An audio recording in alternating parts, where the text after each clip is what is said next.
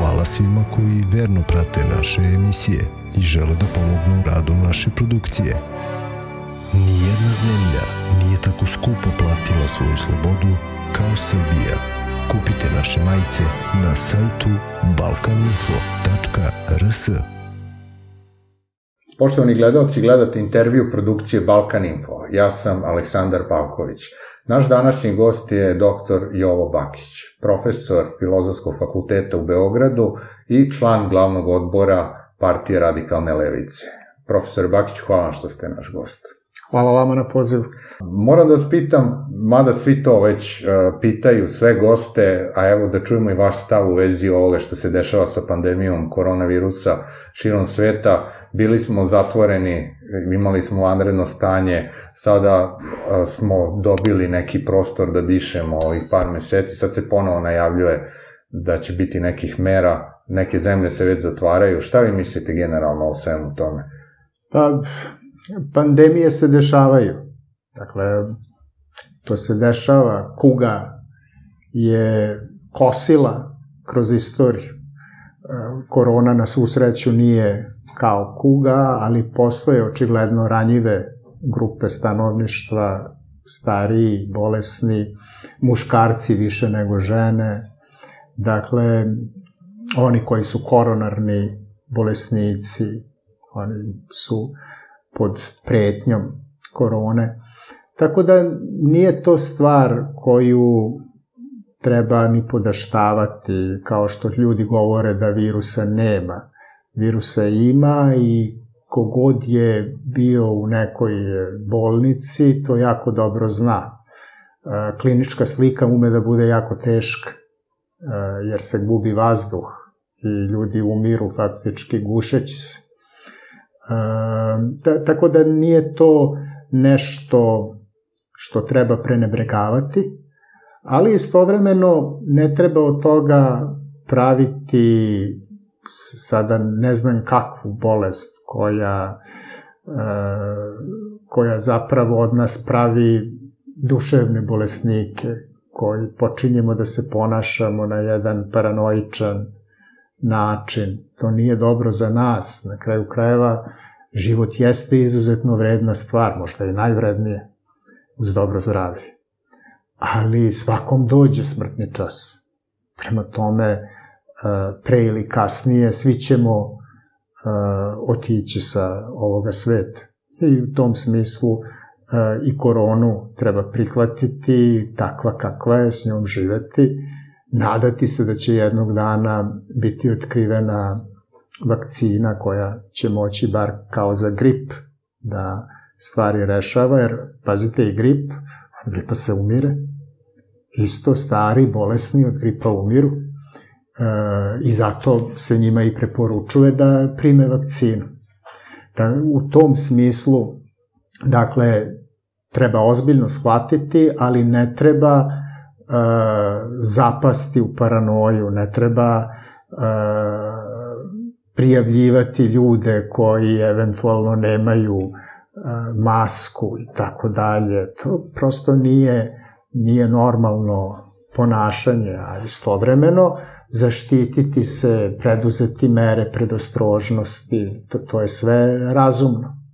A šta mislite o, uopšte o vakcini kao takvoj, pošto vidimo dosta nepoverenja u vakcine, pogotovo uh, zbog toga što nam to saopštava čovek koji nema neke veze sa medicinom, u pitanju Bill Gates i Svetska da. zdravstvena organizacija. Pa, to je problematično, ali inače farmaceutska industrija je po sebi problematična.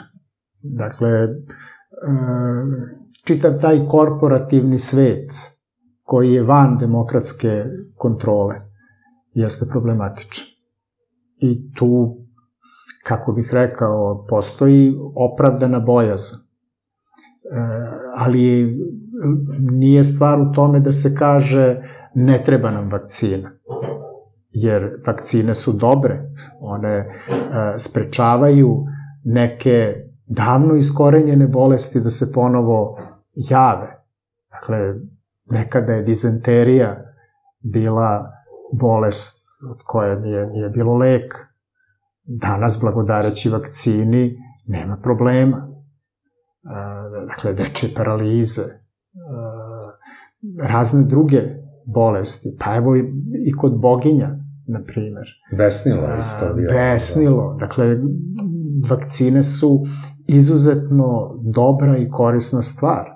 Problem je što postoje korporativni interesi koji su zaklonjeni od e, očiju javnosti i ključna stvar jeste da javnost dobije, i to jedna globalna javnost, dobije uvid u procese stvaranja vakcine, u to kako se vakcina stvara, kako se testira, e, koji su eventualno uh, eventualno neželjene posledice koje mogu da budu i tako dalje. Dakle, sve to mora da bude potpuno pod očima javnosti, što nije slučaj.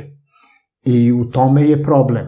A nije problem u samim vakcinama koje zapravo omogućavaju ljudima jedan značajno kvalitetniji život nego što je bez njih. I još jednu stvar da napomenem, sadržalo je sadržana je bila u vašem prvom pitanju. Čitava je ta stvar oko policijskog časa u tom prvom zatvaranju u Srbiji je bila potpuno naopak. To se tako ne radi. Prvo ste imali ljude koji zbijaju šale, to je 26. februar, zbivanje, zbijanje šala, najsmešniji virus u istoriji, a onda ste u roku od nepunih mesec dana imali uvođenje drastičnih, drastično dugih policijskih sati, gde su posebno naši stariji sugrađani bile žrtve takvog zatvaranja, jer za njih je naročito važno da mogu da prošetaju, da mišići budu razmrdani, a ne da se usede i uleže u zatvoreni u stanu. Tako da to, to su bile bila potpuno nenormalna ponašanja koja su međutim tipična za ovu vlast. A da li ste vi kao neko ko je na toj, da kažemo, antiimperialističkoj strani, ipak zabrinuti, opet kažem, vezano za vakcine, ako vidimo ljude koji koji su na neki način prokazani kao imperialisti koji žele da pomognu, eto tako. A pritom znamo za one njihove priče Jasno. i ostalo. Vakcina može doći sa raznih strana. Dakle, samo kinezi u ovom trenutku proveravaju dve vrste vakcina i smatraju da je jedna već blizu toga da je, da je proverena i da može ići dalje. Naravno, sad neko može da kaže pa i Kina imperija. I jeste. Dakle, to, to je prosto tako. Imperije imaju dovoljno moći i novca da stvaraju proizvode koji druge zemlje nisu u stanju da proizvedu. I nažalost, one su se i potrudile da to tako bude, da druge zemlje nemaju dovoljno sredstava, dovoljno naučnog kadra da sve to urade. Rusija ima takođe kao imperija svoje vakcine koje su već ušle u upotrebu da, u samoj Rusiji. Da, ceo, ceo vrh vojske je već vakcinisan. A da. da. Zato ne nose maske. To, to, to je to. E, Putin je govorio da je njegova čerka primila vakcinu i da je valjda imala samo jednog dana povišenu temperaturu. Naravno, tu su sada i Sjedine države. Kao takođe imperija i opet neki bogati ljudi koji u svemu vide šansu za profit. I to, to je, nažalost, e, jedno tužno stanje današnjeg sveta, gde bogati i moćni mogu da i manipulišu, mogu da razvijaju e, proizvode koji bi trebalo da budu opšte dobro, a da zapravo to budu proizvodi na kojima se zarađuju zarađuje i to u najboljem slučaju, a u najgorem proizvodi koji mogu da budu opasni. A da li je ovaj haos ipak povezan uh, sa kapitalizmom kao sistemom? Da li je možda zbog krize kapitalizma kao sistema ovo na neki način prenaduvani balon? Iskreno govoreći ne znam. Dakle, za razliku od nekih koji sve znaju, uh, Ne znam odgovor na vaše pitanje. Mogu samo da pretpostavim da e, kapitalistima, kao i brojnim vladama na ovome svetu, korona savršeno odgovara. E, ja sam za Vučića rekao još u martu mesecu da se on krunisao korona. I korona obezbeđuje autoritarcima krunu, obezbeđuje im da se ponašaju potpuno nekontrolisano, da zapravo stavljaju stanovništvo zemlje u jedan položaj maloletnik. To više nisu građani, nego su maloletni podanici. I to je ta uzgredna pojava koja prati koronu. Ne znači da je ona unapred planirana. Samo vam je došla karta, kec na 10 i vi to koristite. A da li postoji neka šansa da se ovo iskoristi, da se napravi ta takozvana svetska vlada? Lično ne verujem u to. Ne verujem u to iz jednog vrlo prostog razloga. Da biste napravili svetsku vladu, morate da imate vodeće imperialne sile u izvesnom saglasju. A ovde su imperialne sile posvađane i vi zapravo imate nekoliko rivalskih blokova. E, to stanje više podsjeća na stanje pred prvi svetski rat, nego li na stanje koje bi moglo da dovede do obrazovanja neke svetske vlade. Da li mislite da će ova prava koje su nam oduzeta kao građanima celom svetu, govorim, biti vraćena sada kada ovo prođe? Biće vraćena ukoliko smo spremni da se za njih borimo. Dakle, kapitalisti nikada nikome nisu nešto poklonili zato što je taj lep ili pametan, nego isključivo kada je taj spreman da se bori. Ako nema pretnje za njihove interese, oni će ih sebično slediti, to im je ideologija. I mi možemo biti samo u sve rđavijem i rđavijem položaju nego što smo. Drugim rečima, bez borbe, bez međusobnog organizovanja ljudi koji nemaju dovoljno moći i onda da je potrebno da se organizuju kako, kako bi mogli da se usprotive onome koji ih tlači, bez toga nema, nema mogućnosti uspešnog suprotstavljanja. Šta mislite o Europskoj uniji, o trenutnoj situaciji tamo, pogotovo vezano za koronu i taj nedostatak empatije koji smo videli među samim državama, kamoli ka trećim zemljama? Kada je u Italiji bila potpuna, to se može komotno zvati humanitarnom katastrofom, koju su italijani doživeli tamo negde u martu, aprilu mesecu, solidarnost Evropske unije je sasvim izostala i tu se videlo da zapravo Evropska unija nije ona organizacija e, koja voli sebe da predstavi kao solidarnom, kao čak vole nekada da kažu da su oni socijalna, oni, oni su zapravo jedna izuzetno neoliberalna formacija i e, bez saosećanja za druge. Oni umeju samo da glume saosećanje. E, tek kad je posle jedno mesec, mesec i po dana velikih muka u Italiji, e, sastali su se e, odnosno dogovorili se, mislim da se čak nisu uživo ni sastali, nego su se dogovorili Macron i Angela Merkel da Italiji treba pomoći, da treba značajan deo novca za borbu protiv korone izdvojiti i tako dalje. E, drugim rečima, Evropska unija je pokazala svu slabost e, u, u danima korone i s obzirom na Brexit koji je prethodio tome, e, ona ima sve manje pristalica i u samoj Evropskoj uniji i van nje. I sada kada pogledamo Evropsku uniju koja se razmimoilazi u mnogim pitanjima, Gde vidite našu poziciju u odnosu na njih? Pošto mi politički stremimo tamo, bar na rečima.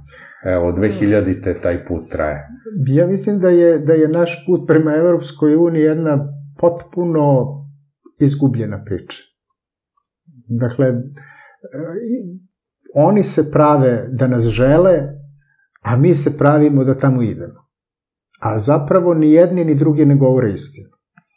I u tom smislu bolje je uh, jasno uh, reći da neke stvari na tom pristupnom putu Evropskoj uniji nama kao građanima odgovaraju. To su ova dva poglavlja, 23 i 24. Dakle, ako možemo mi, nego je veliko pitanje da li kod nas ima unutrašnje snage, da, da zaista napravimo pravosuđe kako treba da izgleda. Da, da onda zaista zaštitimo ljudska prava i slobode. Dakle, svih nas. To je nama valjda u interesu. A ovo drugo, ekologija nam je takođe u interesu, da zaštitimo životnu sredinu, da, da ne budemo da, u Beogradu među najzagađenijim gradovima u, svetu, da, da, da, dakle, takva, takvo okruženje pogoduje stvaranju asme. Mi smo prvi po, po broju uh, kancera dojke. Uh, mi smo prvi po, ili, ili drugi po broju umiranja od uh, raka pluća. Dakle, osim što sami doprinosimo time što se previše puši i tako dalje, to sigurno ima uticaja i vrlo nezdrava životna sredina.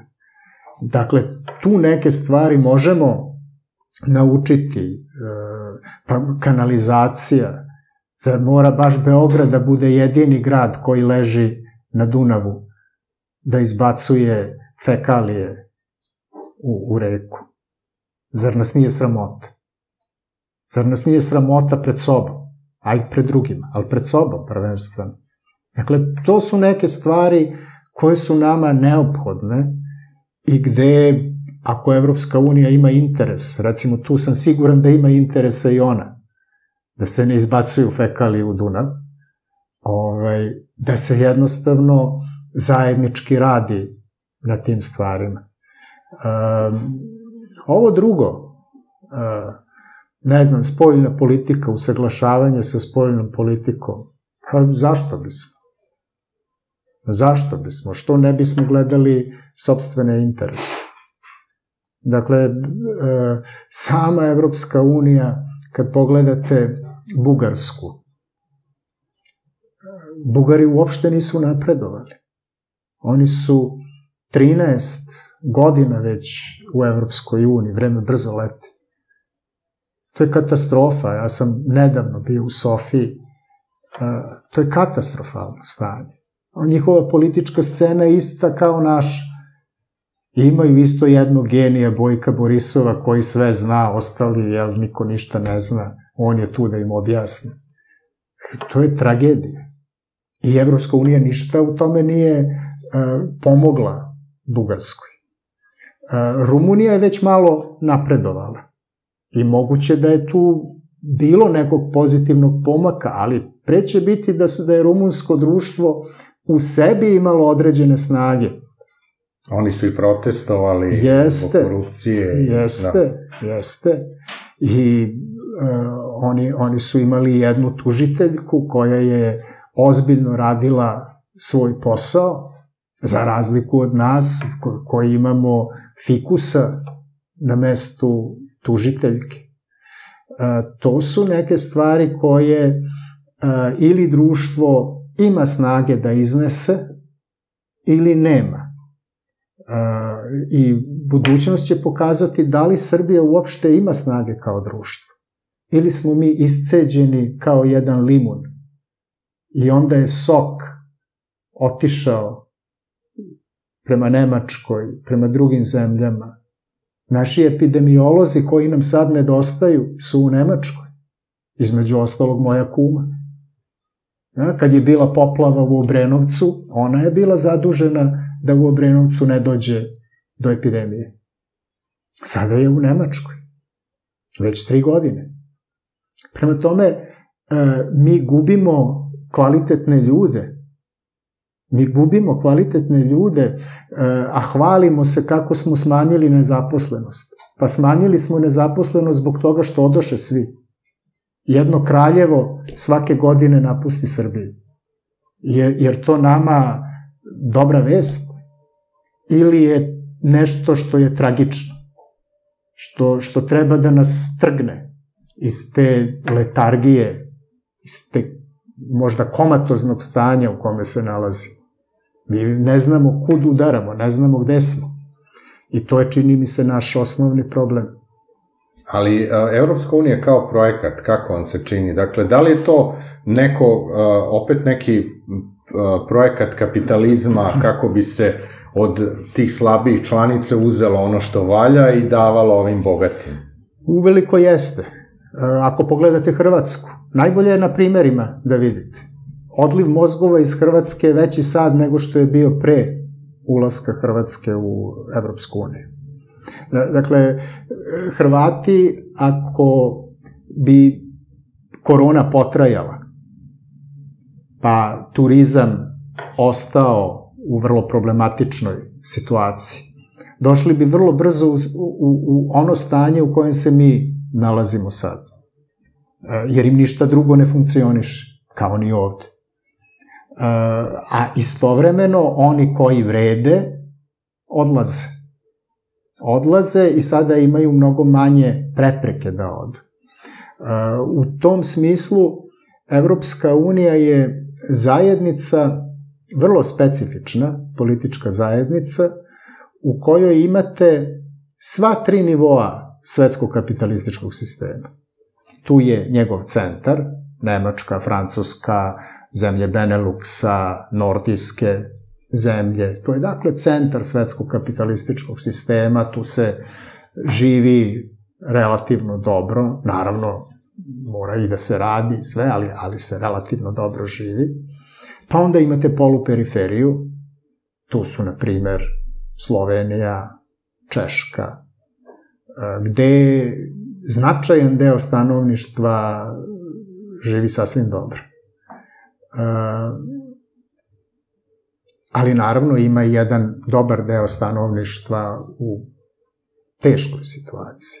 Poluperiferijski položaj je upravo po tome i, i to mu jeste definicija da je da ima u, u višim slojevima odlike nekog centra, življe u, srednjim slojevima, višim srednjim slojevima.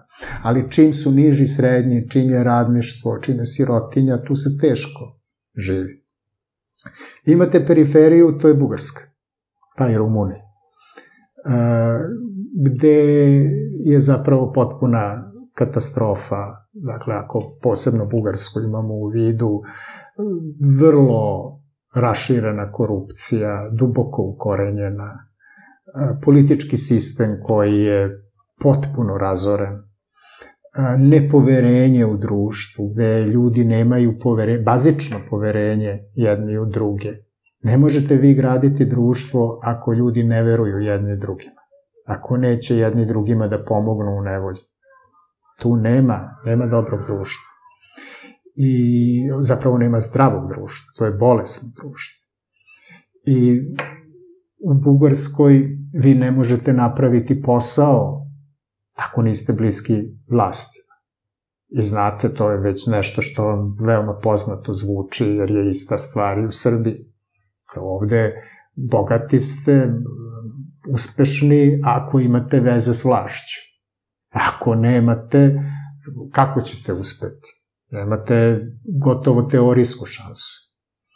I to je nešto što je karakteristika zemalja na periferiji svetskog kapitalističkog sistema, pa na poluperiferiji donekle.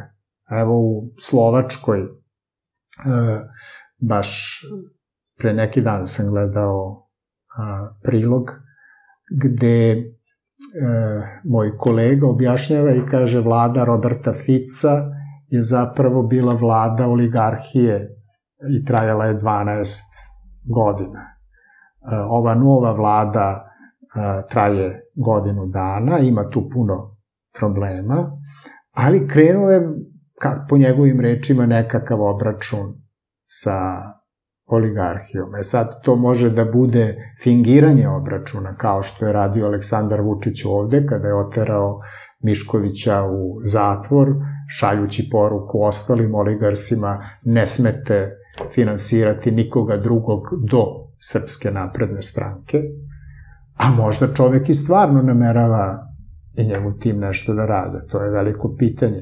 Ali, dakle, to su, te, to su ti problemi, jer kapitalizam po zakonu stvara oligarhijske strukture.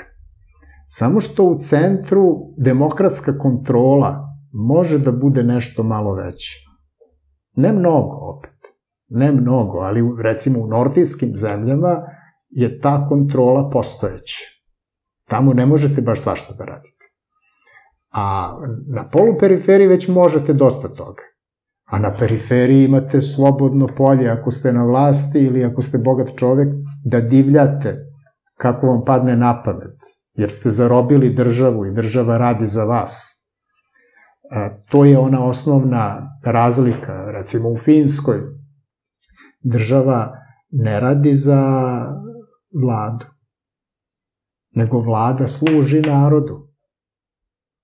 Država je tu, republika je tu radi naroda. Narod je taj koji čini republiku kao javnu stvar za koju se brine, za koju se bori. Ako nema svesti u tome da je republika javna stvar za koju građani moraju da se bore svakodnevno, jer ako se ne bore, oni koji imaju vlast iskoristit će to. Iskoristit će to. Dakle, e, kada ljudi kažu često razočarani su posle 5. oktobra, mislili su, oni su mislili da, da su došli anđeli na vlast. Nema anđela. To su sve ljudi. I građanska je dužnost da kontroliše svaku vlast.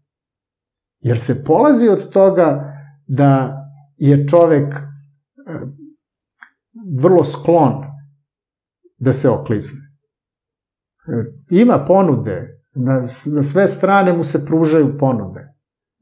Treba biti uh, jakog karaktera pa odbiti. E, da bi se taj karakter pojačao, potrebno je da građani zapravo budu budni. Pa će i karakteri biti bolji. A inače, ako nema građana koji, koji prate iz dana u dan šta političari rade, a on, naravno sredstva masovnog opštenja im pomažu da prate. Tu su novinari koji pitaju, koji istražuju, pomažu građanima da uhvate političare s rukama u medu. To je zapravo zadatak sredstava masovnog opštenja. To je zadatak novinara. Da uhvate političare s rukama u medu. A onda, ako deluje pravna država, eto ih u zatvoru. Međutim, svega toga na periferiji svetskog kapitalističkog sistema po pravilu nema.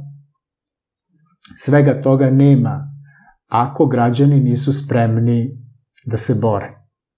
Ako su spremni da se bore, čak i ovako loše stanje u kojem se mi nalazimo, postoji nada da može da se promeni.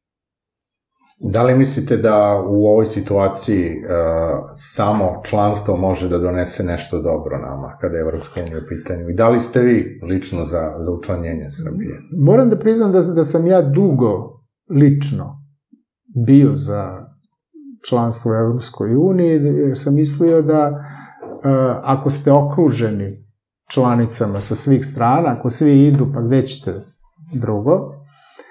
Uh, ja i sad mislim da, da neka e, zajednica socijalna, evropska, gde bi i građani i nacije bile ravnopravne, e, jeste potrebna. Ali ovakva kakva je, ona ne treba nikome. Dakle, u ovom trenutku ja uopšte ne vidim interes Republike Srbije da ulazi u Evropsku uniju. E, jer, jer je ona se pokazala kao, kao jedna rđava zajednica. Ona nije ono što ljudi misle da jeste oni koji su skloni da, da se uđe u Evropsku uniju. Jednostavno, i te zemlje koje je čine su se u poslednjih četiri dece, u poslednje četiri decenije značajno pokvarile. Svuda je trend e, rasta društvenih nejednakosti. Čak i u nordijskim zemljama, da, dakle u Švedskoj su nejednakosti izrazito porasle u poslednje dve, tri decenije. I on, Švedska nije ono što je bila 70. godina 20. veka. E, to se promenilo i postoji neka inercija da mi opažamo e, društvenu stvarnost pojedinih zemalja na način koji nam odgovara. A da ne vidimo zapravo uh, naličje uh, društveno. Naravno, Švedska takva kakva je, je nezamisliva za nas. Znači, to je jedna izvanredna civilizacija, da ne budem pogrešno shvaćen. Ja bih bio srećan kad bismo polovinu onoga što Švedska jeste dostigla i mi ostvarili. Problem je međutim u tome što, e, kažem, i u Švedskoj postoje negativni trendovi već nekoliko decenija, a šveđani nisu baš mnogo zainteresovani za ono što se zbiva u Srbiji. A da li mislite da je uopšte moguće da se napusti taj koncept kapitalizma? Vidimo da ljudi počinju da se bune, dakle vidimo u samo Evropskoj uniji u nekim članicama, evo u Nemačkoj vidimo, u Francuskoj već godinama su oni žuti prsuci, ali u Nemačkoj vidimo sada da se ljudi bune protiv ovih mera i tako dalje. Mnogi čak su skloni da veruju da to nije jedini razlog što se ljudi okupljaju, nego da, da je to uopšte, dakle, nezadovoljstvo opštim stanjem u društvu. Pa, sigurno da postoji nezadovoljstvo opštim stanjem u društvu. Da, da ne postoji, vi ne biste imali priličan broj glasova za alternativu za Nemačku s jedne strane i za Dilinke s druge strane. Dakle, to su desničarski i levičarski odgovori na probleme u nemačkom društvu. u tom smislu, korona je samo neke stvari iznela na površinu, ali kažem, kapitalizam je u njegovom centru još uvek veoma jak. A na moju žalost, ako je jak u centru, onda ne može da bude slab ni na periferiji. Drugim rečima, strukturna ograničenja za antikapitalističku politiku su prilično velika. I vi ih vidite ponajviše u glavama ljudi kojima su i dalje usta prepuna antikomunizma, a 30 godina žive u sistemu koji nije socijalistički. Dakle, za 30 godina dosta toga može da se uradi. I evo ja javno postavljam pitanje da li se za ovih 30 godina napredovalo ili se nazadovalo. Moj odgovor je da se nazadovalo. U privrednom pogledu mi još nismo stigli do bruto društvenog proizvoda iz 1989. A prvi smo u Evropi.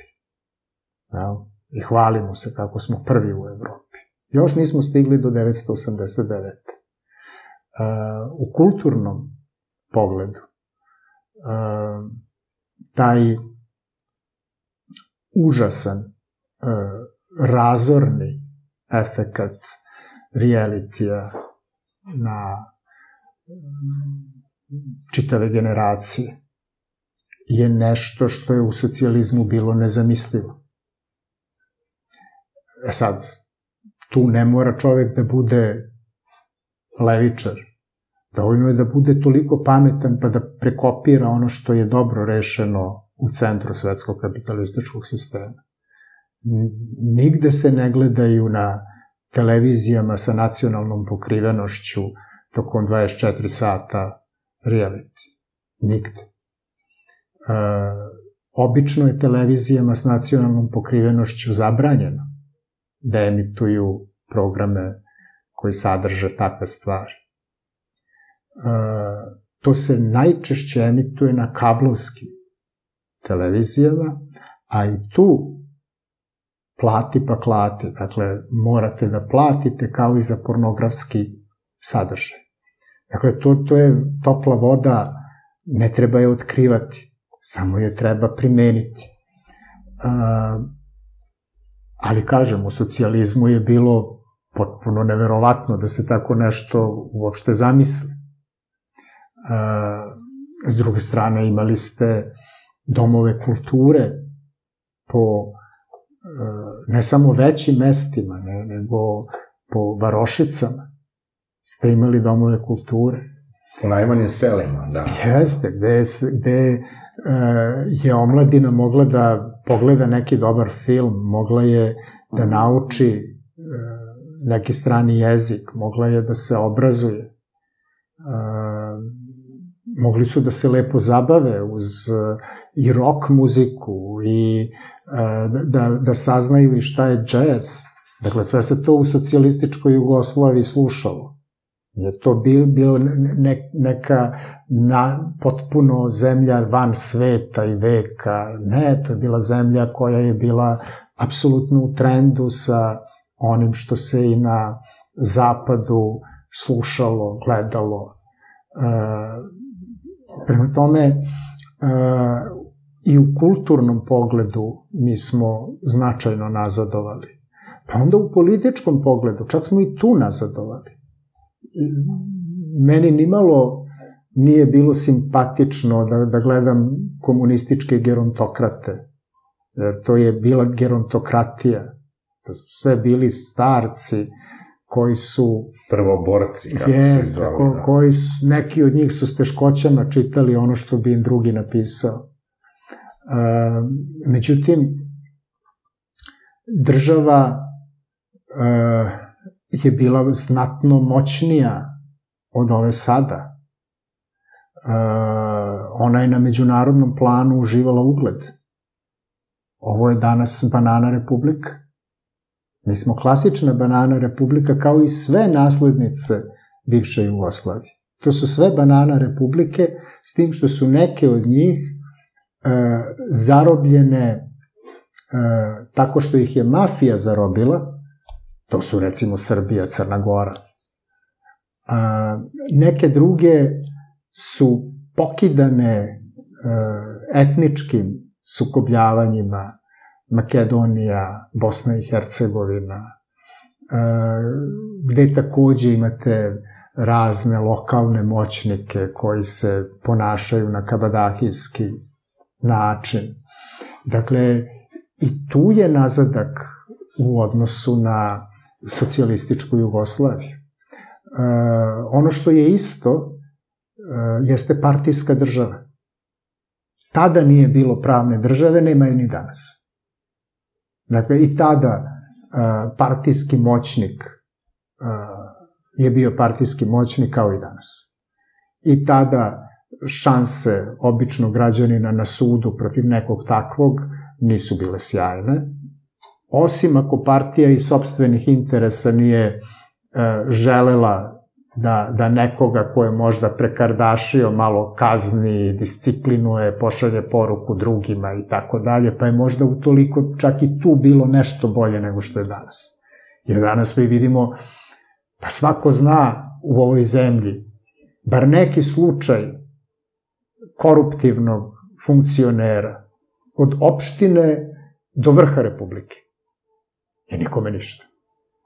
Apsolutno se ništa ne zbiva. Vi kad pogledate ko je optužen, a naročito ko je osuđen, pomislili biste da živite u jednom raju gde odgovorni ljudi vrše svoje funkcije na jedan izuzetno odgovoran način.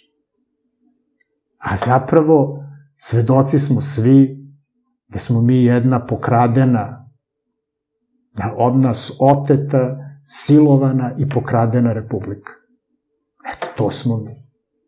I sad, da li je socijalizam za to kriv? Ili se to sve desilo u protekle tri decenije? Ja mislim da, da je odgovor sasvim jasan. A oni koji dalje govore da im je Josip Broz Tito kriv zato što danas loše žive, a možda imaju 20 ili 25 godina, trebalo bi malo da razmisle o ovome što sam kazao.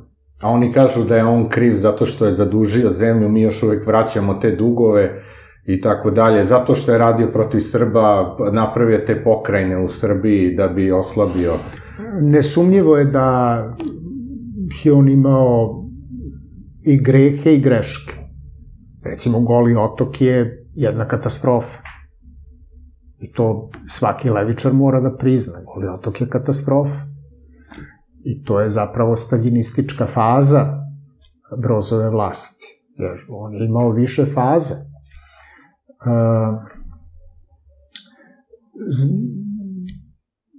Greška oko Ustava 74. je nesumnjiva.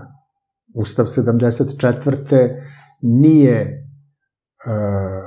presudan uzrok za kraj Jugoslavije, ali je značajno doprineo. E, jer je od jednu državu sve ona neki hibrid federacije i konfederacije i čim imate pravo veta svake jedinice federalne, to je zapravo konfederalno načelo. I Evropska unija je konfederacija. Tamo isto postoji pravo veta svake države. E, druga je stvar što je moć Nemačke tolika da je to pravo veta sve labavije. Dakle, može se izvršiti pritisak i Nemačka ga vrši na one koji hoće da koriste veto, naročito preterano često. Međutim, e, Srbija nije bila u takvoj poziciji. E, Srbija nije mogla nam, nametati svoju volju drugima i to je srpske nacionaliste frustriralo. E, drugo je pitanje da li je, da li je dobro kada možete svoju moć da namećete drugom. Recimo, ja ne mislim da je za Nemačku jako dobro što je krenula tim putem. Kad tad nam se vrati kao bumerang.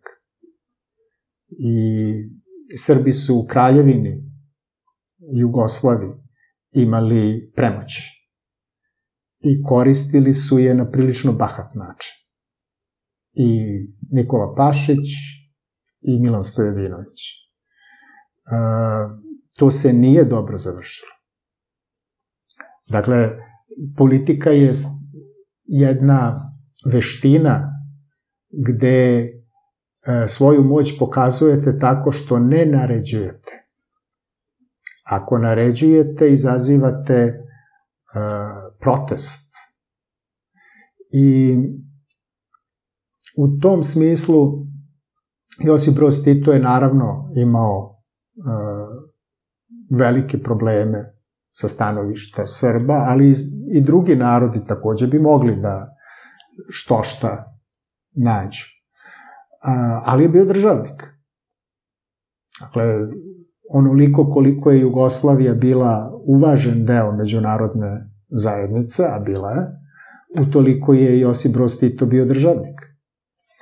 U tom smislu svi predsednici država naslednica Jugoslavije, su u poređenju sa njim patuljci.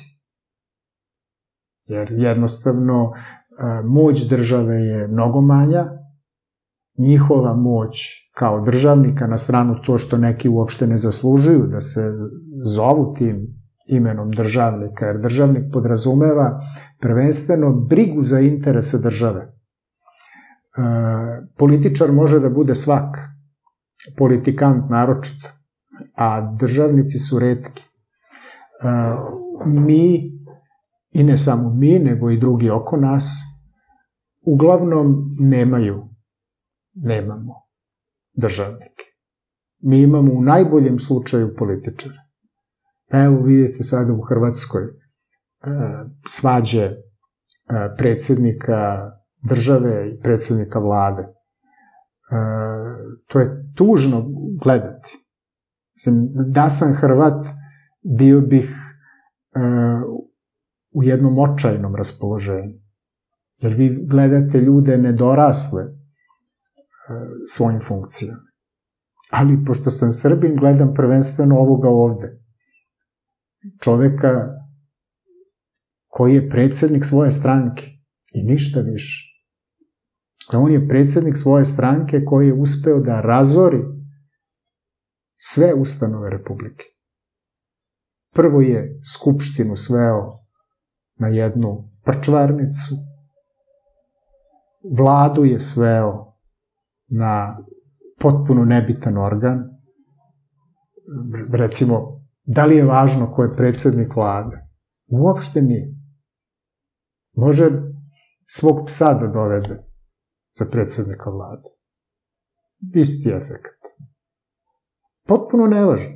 Ko su ministri? Pa evo, za, mogao je da formira vladu još pre tri kusur meseca. Nije, pa šta ćemo?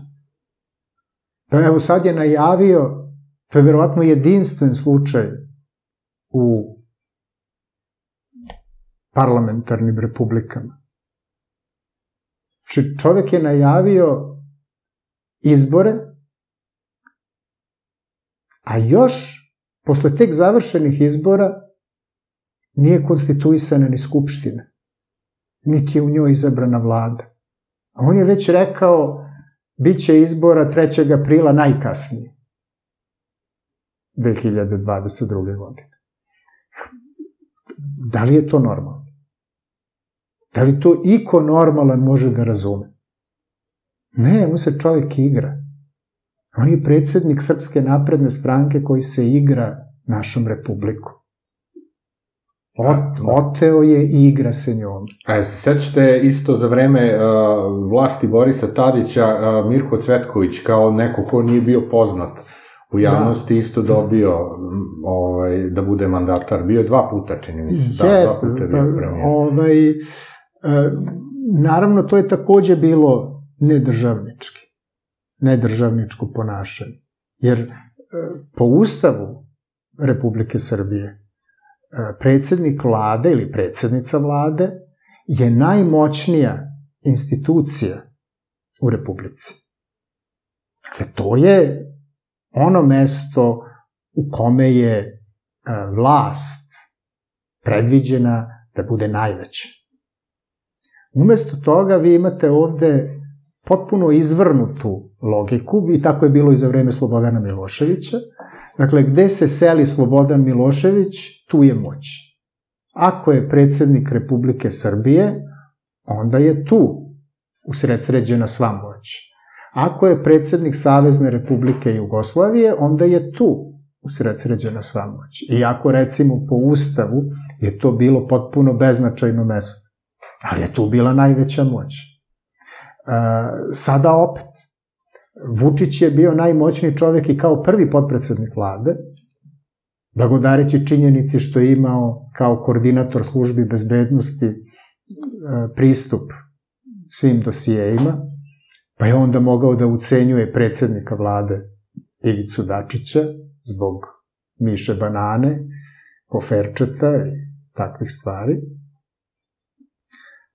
Pa je onda on sam postao predsednik vlade i dobro, po ustavu, ajde, najmoćniji čovek je tu.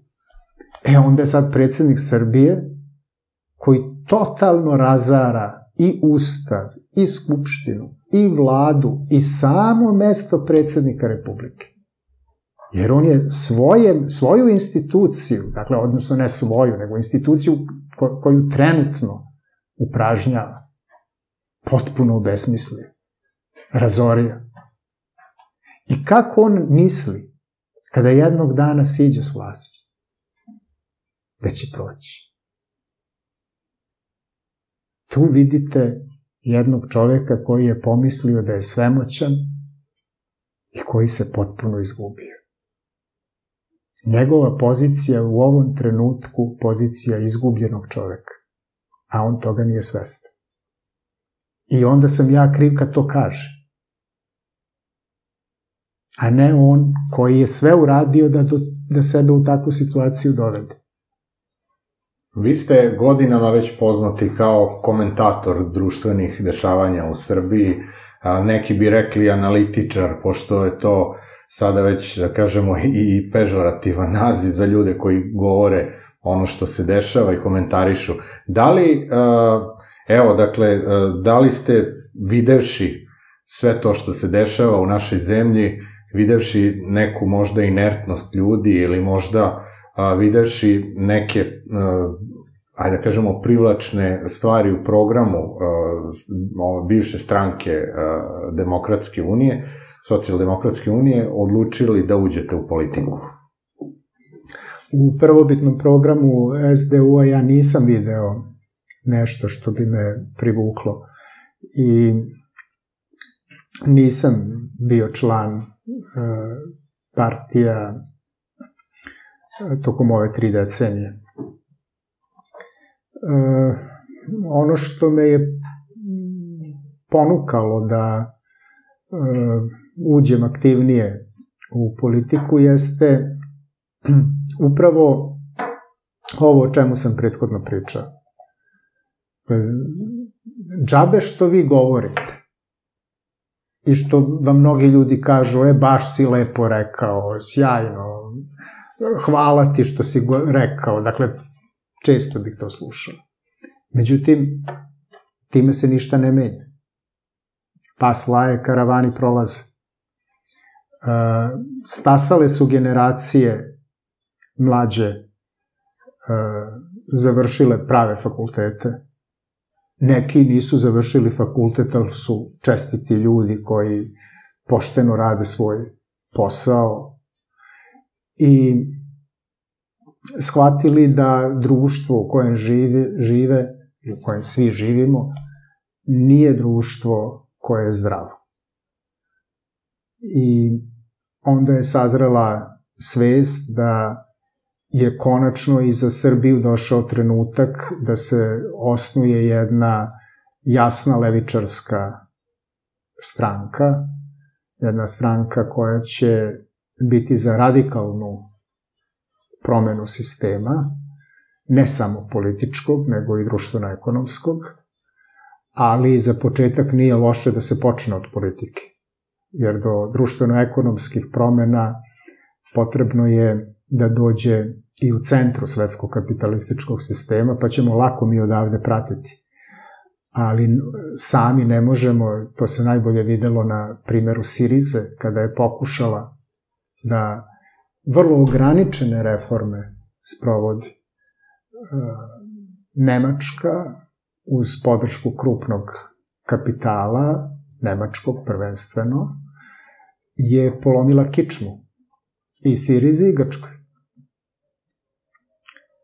I tu se videlo kakva su strukturna ograničenja levičarskih politika u ovom trenutku, ako se vrše samo u jednoj zemlji, ako nema solidarnosti i značajne podrške levičarskih snaga iz drugih zemalja.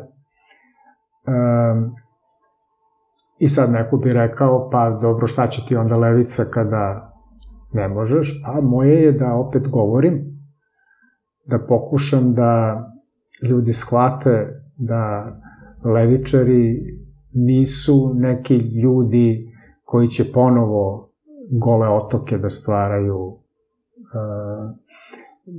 neće niko ko ima e, neki mali posao, dakle, ko je e, samo zaposlen, ko ima malu firmu, ti će ljudi ne samo biti zaštićeni od te levičarske vlasti, nego će im ona pomoći mi e, u njima tražimo oslonac. Ono što se od njih zahteva jeste da obezbede čovečne uslove rada. Dakle, ne može da postoji preduzeće koje ne brine o svojim radnicima, o njihovom zdravlju, o njihovom životu. To je neshvatljivo. Srbija je zemlja u kojoj stotine ljudi gine na gradilištima tokom jedne godine. To je skandal. To je užas. I nikome ništa. Niko ne odgovara. Kako je to moguće? Kako smo mi došli dotle? Dakle, e, svako ko je vlasnik preduzeća e, odgovoran je za zdravlje, za živote svojih ljudi. To su njegovi ljudi. Dakle, on, on, on ih je zaposlio, e, mora da brine o njima. A oni treba vredno da rade. I to je toliko jasno. Dakle, neće levičari oduzimati hleb nekome ko pokušava da na pošten način zaradi. To sigurno neće biti. Ali mi mislimo da su društvene nejednakosti u Srbiji apsolutno nedozvoljive. One su u ovom trenutku najveće u Evropi. Dakle, mi smo šampioni, eto, po nečem smo zaista prvi u Evropi, kao što naš predsednik kaže. Mi smo šampioni društvenih nejednakosti. Jedna Srbija gde su se naši predsi hvalili kako svako može da živi, jer je zemlja plodna, baciš nešto, pora, porašće, niko ne gladuje. Mi smo došli dotle da smo zemlja u kojoj dosta ljudi gladuje. Da je navala na narodne kuhinje, kojih nema dovoljno. Pa organizacija koja je bliska partiji radikalne levice, krov nad glavom, osim što brani najčešće sirotinju, koju takozvani javni izvršitelji, zapravo to su privatni izvršitelji, dakle uzimaju im tu imovinu, ljude izbacuju na ulicu, jedini krov nad glavom im uzimaju. E, ta organizacija je započela i dostavljanje hrane sirotinji. Putem nešto dobrovoljnih priloga se skupi i dostavlja se hrana. Oni su branili beskućnike i hranili beskućnike tokom prvog talasa zatvaranja e, korone. Kad su bili ti policijski časovi, oni su se organizovali i nosili tim ljudima koji su u nevolji hranu. Dakle, e, zar to nije jedno čestito ponašanje?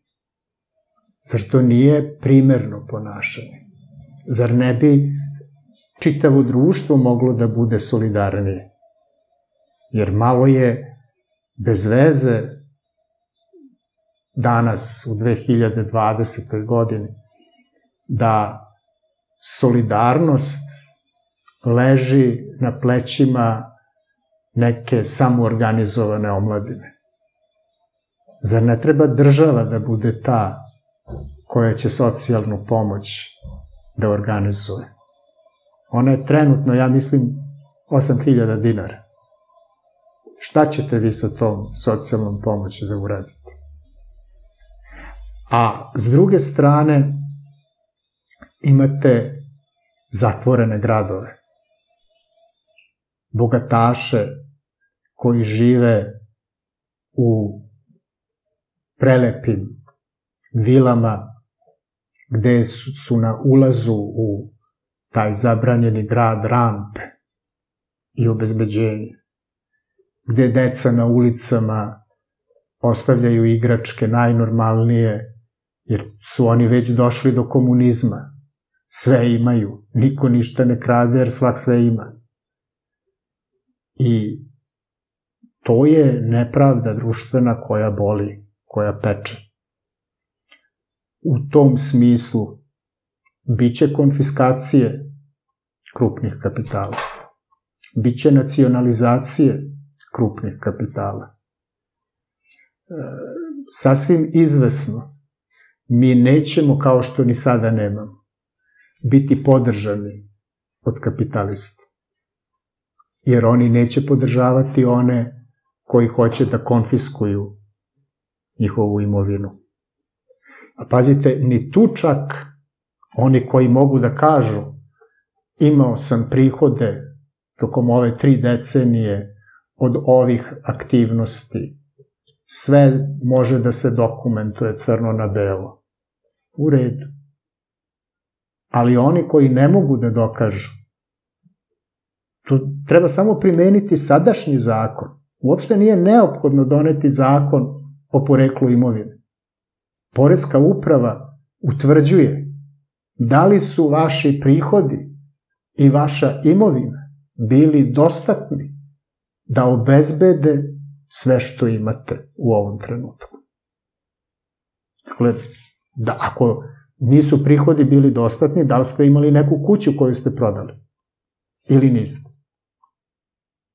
Pa uzmite Aleksandra Vulina i celu onu sprdnju tetke iz Kanade koja on odlazi, jel, trebao je ne znam koliko puta da ode do Kanade, da, da se vrati, naravno u, pe, u pasošu nema pečata i tako tih stvari. Šta je to? Šta je to? Dakle, mora pravda da se sprovede. I u tom smislu naša partija je partija radikalne levice. Radikalno će uzimati od bogatih i deliti siromašnim. Zašto? Zato što je ovo društvo najvećih nejednakosti u Evropi. Istovremeno kažem, čovek koji dobro stoji, ali obezbedio je svojim radnicima dobre uslove za rad. Oni sami imaju neke pristojne prihode. Za naše uslove pristojne, pazite, sve to bede. Sve to bede, da se razume. Ali za naše uslove. Dakle, nećemo njih proganjati. Ne treba da se plaši. Nisu, nisu ovo levičari i bolševici. Pa ljudi često prave uh, jednakost. Kažu, evo vidite, komunizam je naneo mnogo zla narodima SSSR-a, bivšem istočnom bloku, nećemo državu kao što su Kina, Severna Koreja, Kuba i tako dalje. U čemu je razlika? Razlika je ogromna. Razlika je ogromna.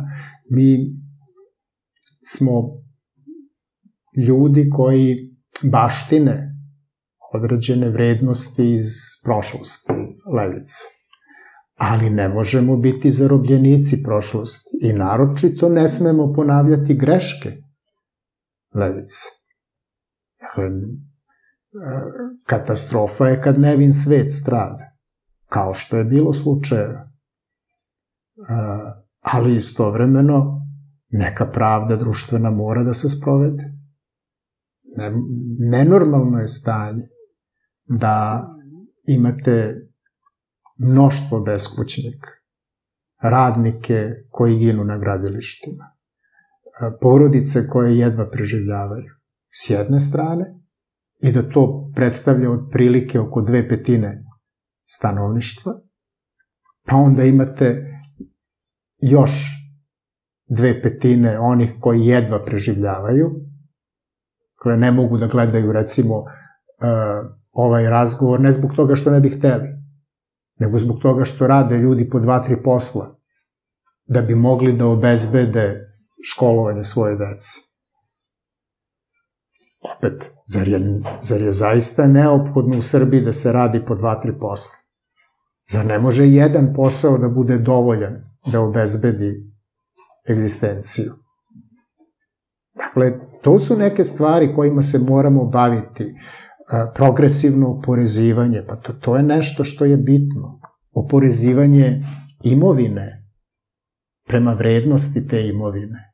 Pa to je nešto što je bitno. Piste, kod nas je sve isto. Imao vilu na Dedinju ili, ne znam, neki stančić, ti kvadrat plaćaš isto, zavisi samo od opštine. Nije, nije svuda ista cena kvadrata. Da, nije to ista stvar. Ne mora se značajno pravednije raspodeliti ova jad i beda koju imamo. A istovremeno raditi na privrednom razvoju. To nimalo nije lako i nije lako naročito zbog toga što ćemo imati potplitanja ako budemo u mogućnosti da služimo narodu, imat ćemo potplitanje od imperialnih sila. Ako nema, kao što nije bilo sa Sirizom, dovoljno solidarnosti, jer mogli su uh, levičari u Nemačkoj i drugde da se pobune iz solidarnosti prema grčkoj braći. I da kažu, nemojte ih stezati, oprostite im te dugove. Oni neka gledaju na koji način će svoje oligarhe da dovedu u red. Jer tamo imate ljude po Grčkoj koji velike kućerine, bazene u Atini imaju i nisu plaćali porez. Dakle, to je jedna strana priče. A druga strana priče je ova. Dakle, e, prosečan Grk koji pod teretom dugova posrće. Dakle, moramo da se borimo za pravednije društvo. I u Srbiji, i na Balkanu, i šire. I zato se mi povezujemo i sa našim drugaricama i drugovima u Hrvatskoj, u Sloveniji. Mi imamo dobre veze sa njima. Ovde su svi bili oduševljeni onim što je govorila Katarina Peović. U Hrvatskoj je dobila 1% glasova. Sjajno je nastupalo. Dakle, očigledno nešto u građanima je i dalje problematično. Oni i dalje misle, kad je Hrvatska na dnevnom redu, o nekoj Jugoslaviji, tamnici naroda, o komunizmu koji ih je uništio i tako dalje. Da li je sve to istina? A živeli su, većina živela u toj Jugoslaviji. Pa naravno, pa e, imate, najveći su antikomunisti oni, koji su gradili dobre karijere u Savezu komunista. I sada, da bi se e, pokazali u antikomunističkoj sredini, moraju da se predstave u što boljem svetlu, odnosno da budu veći katolici od pape, kako se to lepo kaže. I u tom smislu taj konvertitski žar je nešto što je vrlo karakteristično i za srbijanske antikomuniste. Kad ih pogledate, pođite od Vojislava Šešelja. Dobro, on je istradao u socijalističkoj Jugoslaviji zbog knjige. Pazite, to to je, to je problem sistema. Ne možete zbog knjige čoveka da trpate u zatvor. Evo, dakle, to je evidentno očajno. Između ostalog, posle toga dobijete veliki problem, jer on na osnovu svog staža u zatvoru traži vlast posle, kad je sistem propao. Ali uzmite evo i Vuka Drašković. Sve veliki antikomunisti. Čovjek šef kabineta Mike Špiljka. I sad vi se zapitate, pa čekaj malo. Ako taj sistem nije valjao, zašto si učestvovao u njemu? Kod Vojislava Šešelja u njegovom doktoratu najcitiraniji autor je Lenin. A pisao o fašizmu u kojem Lenin nije mogao da piše pošto je umro 1924. A i bio u partiji Šešelj. Pa naravno, bio je, gradio karijeru i tako dalje. Dakle, ali kažem, on je istradao, pa u redu. I kažem, stradao je na pravdi Boga, jer vi možete u knjizi napisati šta god hoćete. On je napisao da Jugoslavija treba da ima četiri umesto šest federalnih jedinica i to je, nažalost, bilo dovoljno da bude prognan sa fakulteta, da bude suđen i tako dalje i to je sve zlo i naopako. Ali, istovremeno ta država je imala obrazovanje i zdravstvo koje je na višem nivou nego što danas Srbija ima. To je bilo dostupnije građanima. Danas samo 3% radničke dece ima mogućnost da studira na univerzitetu u Beogradu. U socijalističkoj Jugoslavi su seljačka i radnička deca studirala. Dakle, to je neuporedivo. To je neuporedivo. Ako su pojedinci koji su se borili za političke slobode u socijalističkom jednostranačkom sistemu, zaista istradali. To je relativno mali procenat u odnosu na veliki deo stanovništva. Dakle, kada pogledate Kraljevinu Jugoslaviju, vertikalna pokretljivost je bila najmanja u Srbiji u poređenju s Hrvatskom i Slovenijom. Dakle, najmanja je bila šansa seljačkog deteta da se školuje, da postane uh, pripadnik viših društvenih slojeva. A istovremeno stalno se drobilo o seoskom gunju i opanku koji odgajaju srpstvo. Pa ako ga odgajaju i usput da, svi smo mi seljačkog porekla. Nije tačno. Nije tačno. Dakle, uglavnom su trgovačkog i činovničkog porekla e, bili pripadnici e, intelektualnog sloja, političara i tako dalje. E, da, dakle, imate laž do laži, a onda se na tome grade čitave priče. U tom smislu najbolji lek je čitanje. Neka ljudi čitaju, ali je problem i u tome što treba kritički čitati. Upoređivati različite izvore. Videti šta ko kaže o istoj stvari. Pa pronaći ko tu laže, a ko tu govori istinu. Nažalost, naše školstvo uglavnom nije u stanju da urodi jednim takvim kritičkim stavom pojedinaca, nego sve pojedinci moraju sami da rade. I to je takođe velika nesreća. Ja sam čitao program vaše partije i tamo između ostalog piše da se zalažete za postkapitalističko društvo. Šta to znači? A to je društvo koje će da svakako baštini ono što je u kapitalizmu dobro. Dakle, još Marks je govorio da je kapitalizam najveći revolucionar, jer on je sve ono staro istumbao. E sad u tom tumbanju napravljeno je mnogo zla, ali je napravljeno i ponešto dobro. Najbitnija stvar, kapitalizam ima, i zato i opstaje sve ovo vreme, ima potencijal za inovacije. On stalno proizvodi novo u tehnologijama.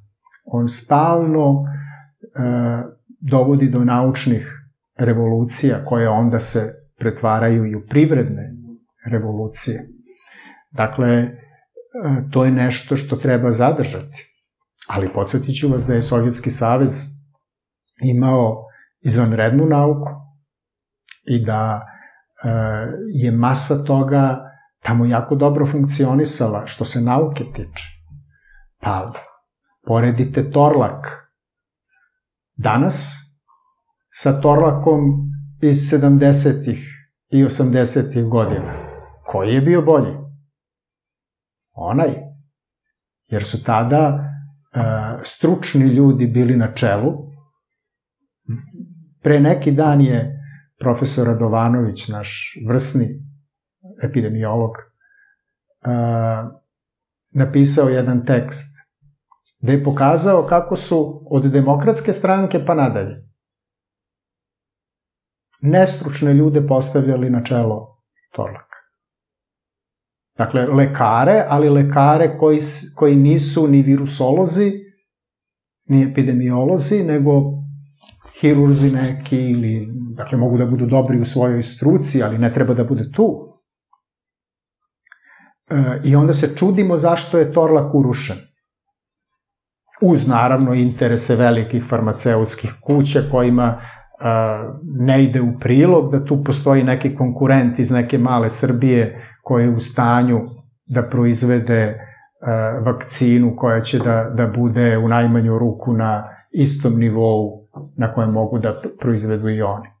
Ali dakle, mi smo se potrudili, odnosno ne mi, nego predstavnici, oni koji treba da budu naši politički predstavnici, oni su se potrudili da unište. U tom smislu, postkapitalističko društvo treba da raste na svemu što je dobro u kapitalizmu.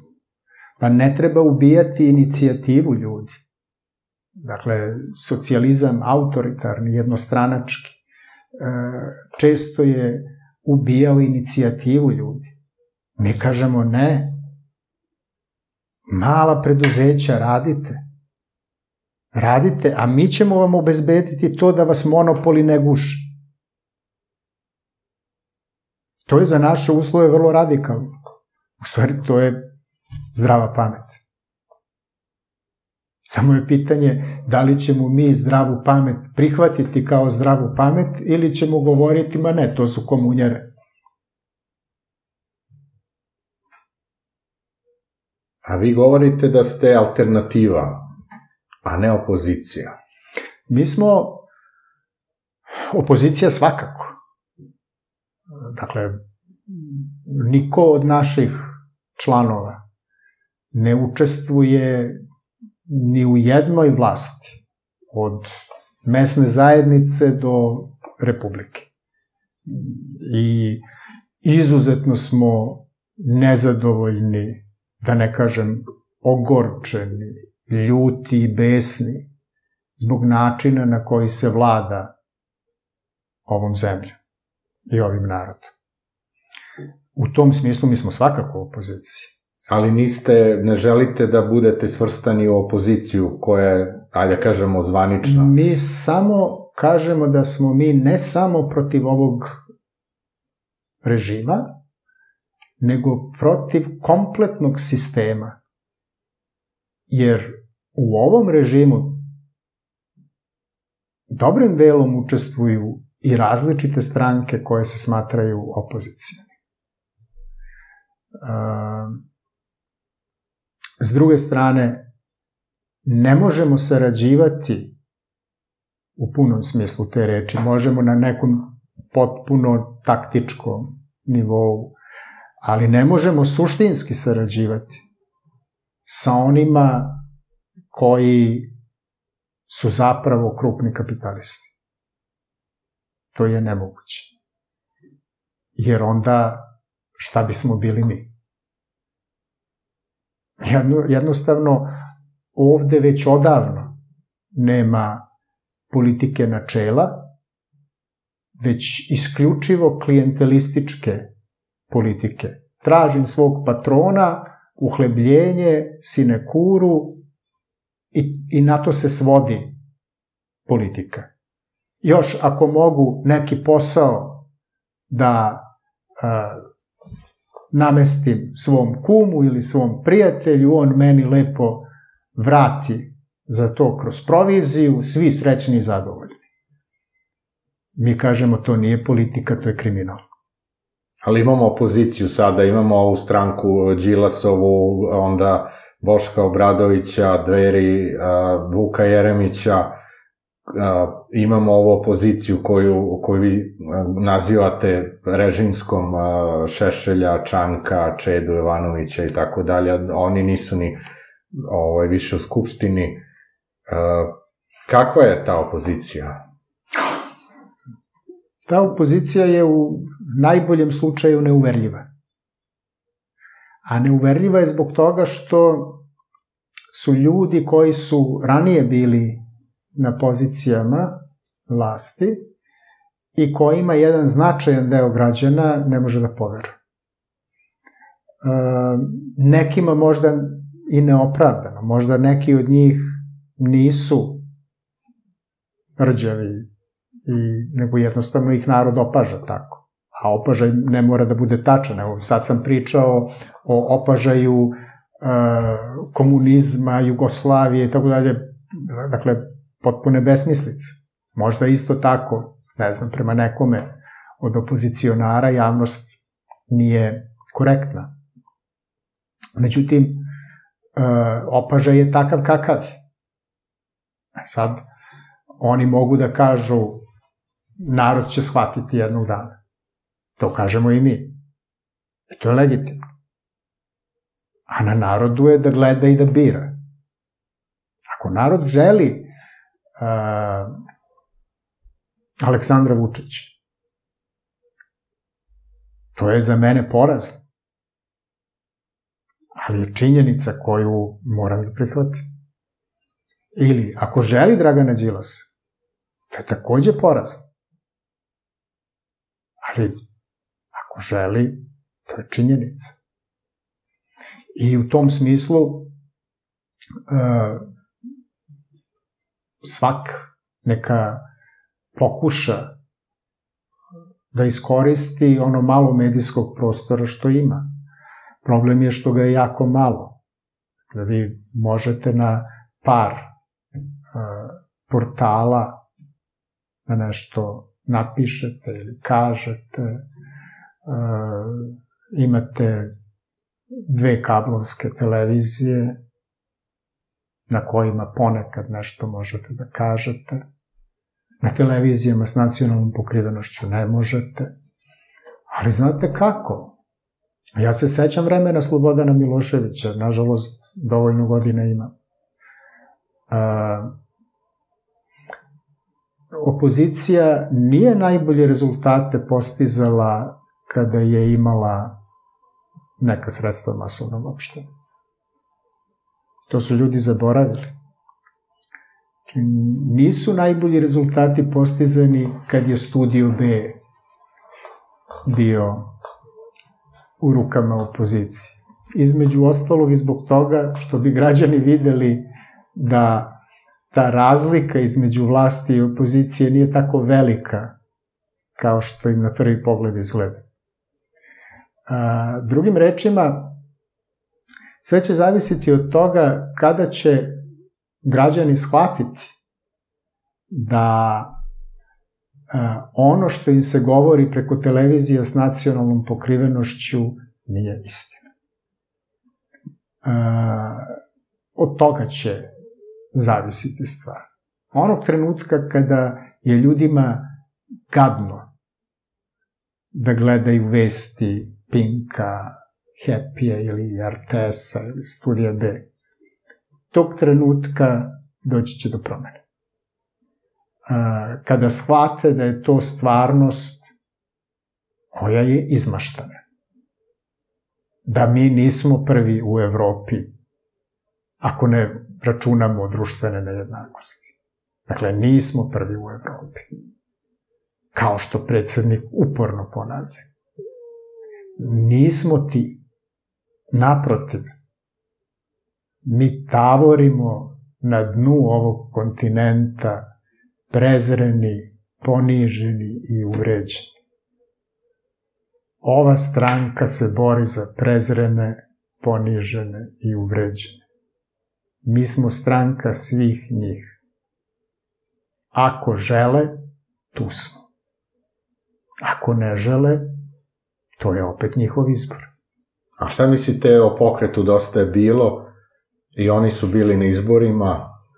Pa dosta bilo je pokret koji je neke izuzetno velike promene preživeo. Oni su započeli kao klasičan neoliberalni pokret, prilično kosmopolitski usmeren, da bi sada bili zapravo uh, jedan radikalno desničarski pokret, koji u useljenicima vidi glavni problem Republike Srbije. Uh, maltene mrtva trka između dosta je bilo i dveri i ovog mučenika u vlasti Nenada Popovića, koji je od njih najveći islamofob, koji je od njih najveći ksenofob. E, utoliko taj pokret je izgubio svaku ubedljivost. Ako vi za nekoliko godina drastično promenite ne, neke od ključnih vrednosti, onda je veliki problem sa vama. Druga je stvar kad promenite nešto, ne, ne, neko zalaganje konkretno, to ne mora biti problematično. Dakle, ljudi vide da, da nešto zašto su se zalagali možda nije u redu, pa što ne bi promenili, to pametni ljudi rade. Ali ne možete menjati bazične vrednosti.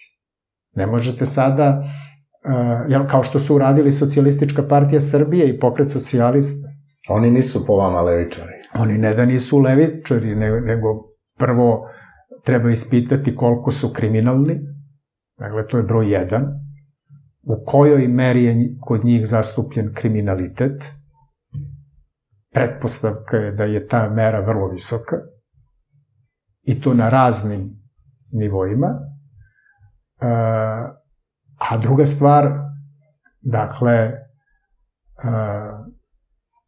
Oni ljudi sprovode neoliberalnu politiku. Kako levičar može da sprovodi neoliberalnu politiku? Kako levičar može nacionalistički da divlja? Ali kada Aleksandar Vučić ne želi da on bude opažen kao potpiritelj nacionalizma, onda pusti Aleksandra Vulina jer ovaj bez problema može. Dakle, to je potpuno neverovatno. Levičar je kritičar i imperializma i nacionalizma. On, e, kao što e, traži da se NATO povuče s Kosova, To je vama u programu, da, Jeste. to sam pročitao da piše, da tražite da NATO pakt napusti Kosovo. Jeste, da NATO, jer je to uslov za jedan normalan razgovor sa Albancima. I onda da vidimo na koji način u tom razgovoru, koji može biti bez posrednika, a može biti uz posredstvo Ujedinjenih nacija. Nikako ne bilo koje imperialne sile pojedinačno. Samo Ujedinjenih nacija. Dakle, ovo što je bilo u Vašingtonu po vama nije bilo dobro. Pa to je skandalozno. To je skandalozno i ja sam čak u odnosu na politiku koju predsednik Srpske napredne stranke vodi, uglavnom najmanje primetbi imao na njegovu spoljnu politiku. Jer on je pokušavao da drži neku ravnotežu između velikih sila, niti je on Josip Broz, niti je Srbija Jugoslavija, njegov položaj, odnosno položaj predsednika Republike ili predsednika vlade Republike Srbije je svakako mnogo slabiji, strukturno gledano. Međutim, to što je slabiji ne znači da ne treba se boriti za interese sobstvene zemlje, trudeći se da plivate u tim meandrima međunarodne politike. I to Aleksandar Vučić godinama nije radio loše. To je jedino gde nisam imao značajne primetbe. Međutim, Ovo sada je od početka do kraja skandalozno. E, prvo, da krenemo možda od najmanje važnog, ali simbolički izuzetno bitnog.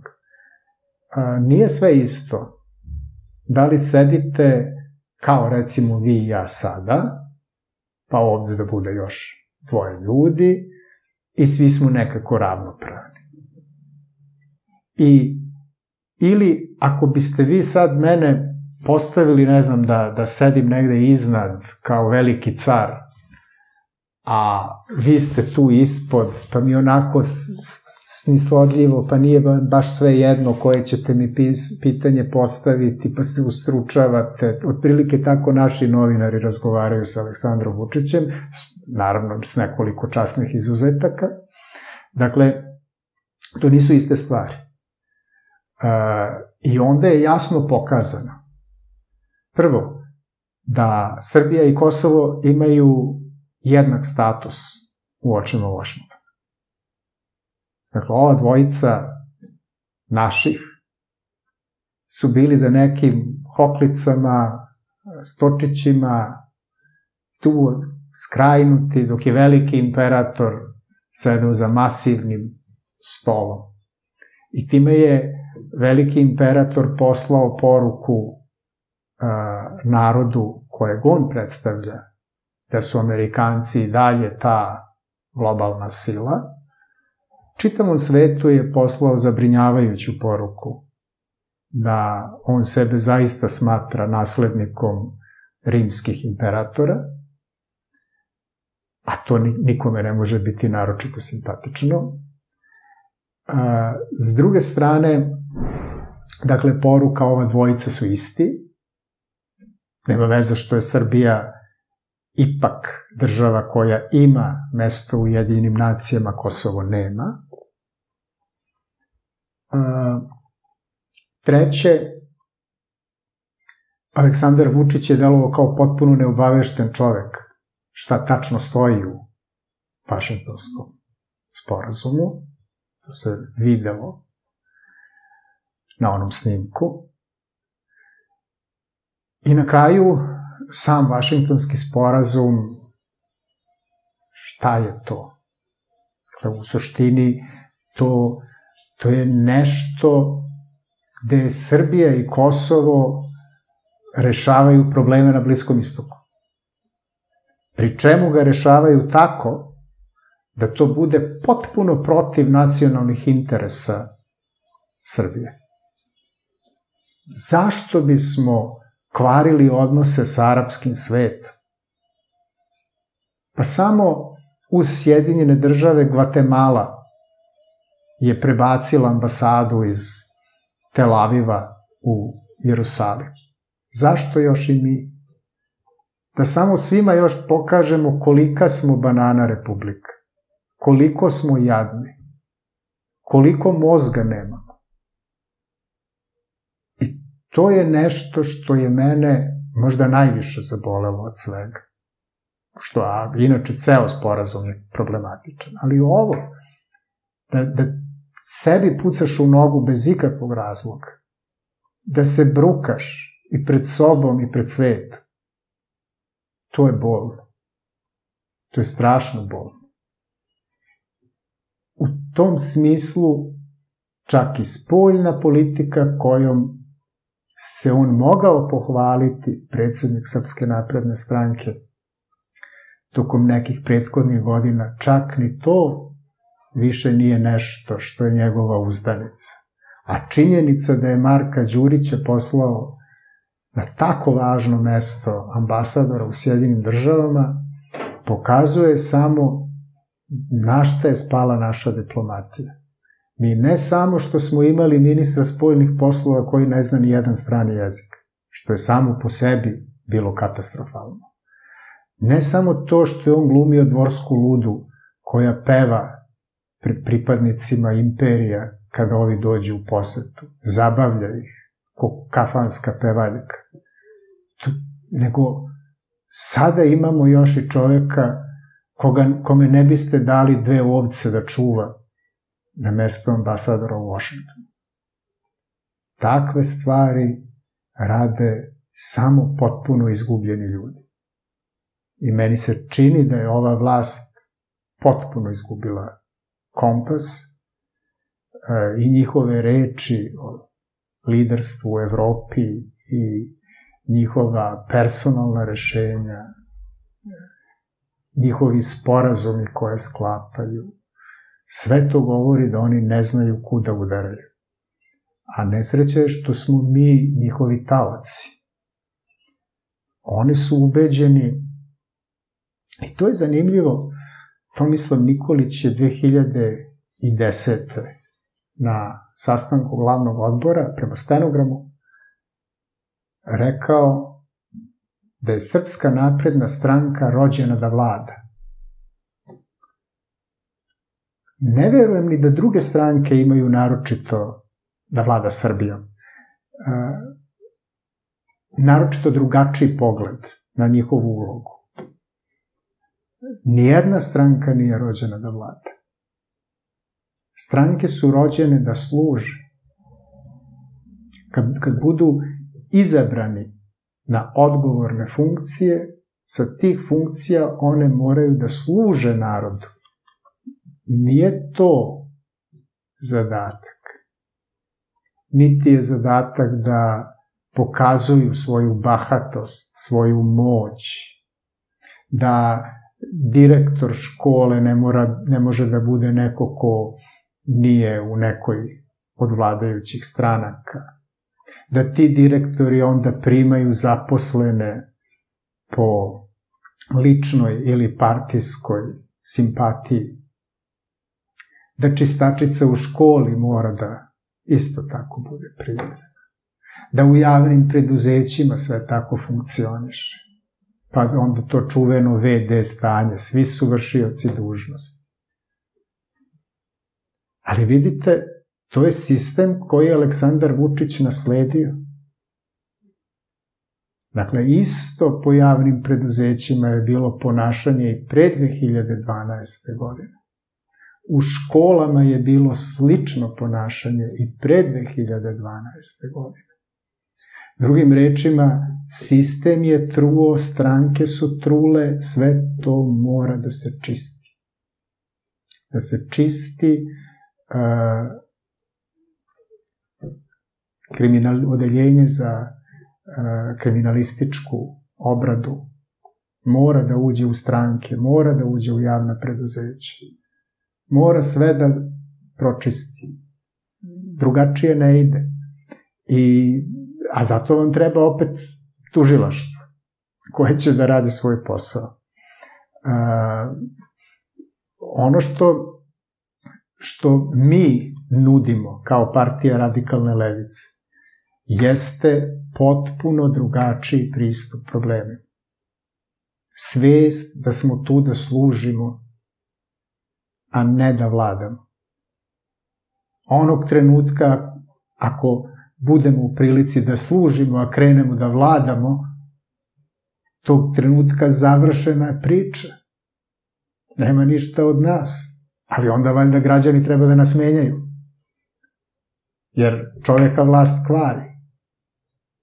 Ali zato građani moraju da kontrolišu.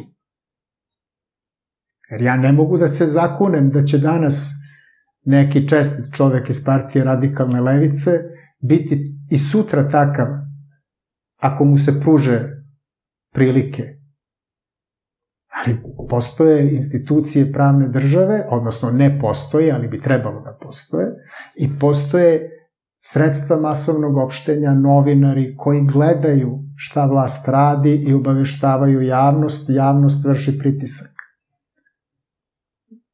To su elementarne stvari, ali ja o njima moram da pričam u zemlji Srbiji.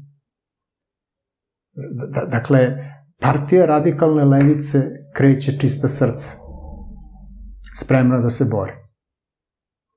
A, na građanima je da vide šta će dalje. Ali imamo evo demokratsku stranku koja je bila jedna od, kako kažu oni, institucija, to je Boris Tadić rekao da je demokratska stranka institucija Srbije koja se po ko zna koji put podelila, a, gotovo neprimetno, evo Sergij Trifunović i Zoran Živković više nisu na čelu svojih stranaka, Pa dobro, ujedinile su se. Da, i imamo ovaj neki pokret uh, koji je, mislim, u nastajanju imamo te neke uh, pojedince koji, koji su, uh, koji opozicijono deluju, Branko Dragaš, Srđan Nogo, Dušan Dunđer i tako dalje. Šta mislite o njima? Mislite na poslednju trojicu koju ste... Pa da, evo ove ste već na, naveli da su deo one opozicije da. gde, gde je i partija uh, Đilasa i tako dalje.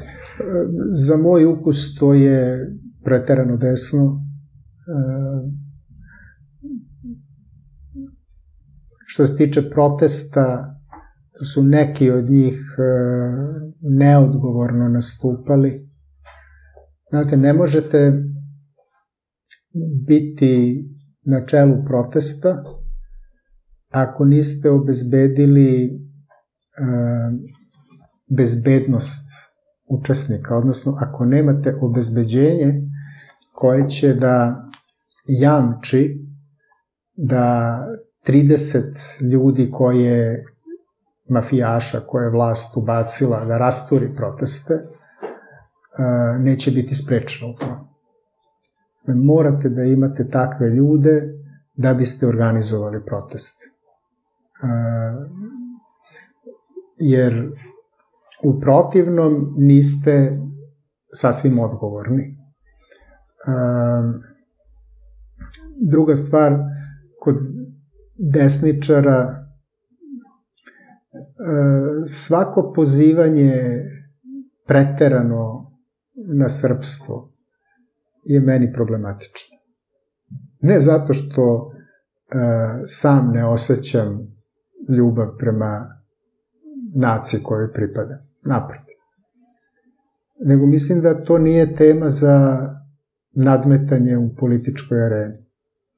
Jer ako krenemo da se busamo u prsak i vičemo ko je veći Srbin, nećemo daleko stići, odnosno zaluđivaćemo građane, kao što ih i zaluđujemo. Čim je to glavna tema, ko je najveći Srbin, a ko je najveći izdajnik, vi ste na polju potpuno proizvoljnih tvrdnji. I niko ne može za sebe da dokaže da je najveći Srbin, niti može za nekoga, osim ako baš nema neke dokaze crno na belo, da dokaže da je izdajnik. Nego je to zapravo udaranje u niske strasti. Jer često u sirotinji čovek čime može da se podiči, pa time što je pripadnik neke nacije koja ima i dobrih strane. I onda u životu vam je teško, ali ste Srbin pa vam je lakše. A onda to demagozi nacionalistički koriste i udaraju u talambase srpstva. Po meni, ako ste dobar Srbin, treba da radite dobro u svojoj profesiji. Dakle, za mene dobar Srbin ako odnosno ja sam dobar Srbin ako studenti za mene kažu da sam prema njima korektan, da su od mene nešto naučili, da nisam se ni prema kome poneo na neodgovarajući način. Ja sam onda i dobar profesor i dobar Srbin. Zato što radim u opštu korist. Uh, onda Naravno, ako se trudite u javnom delanju da utičete na to da se javni prostor racionalizuje, da bude što manje iracionalnosti, onda ste isto dobar Srbi.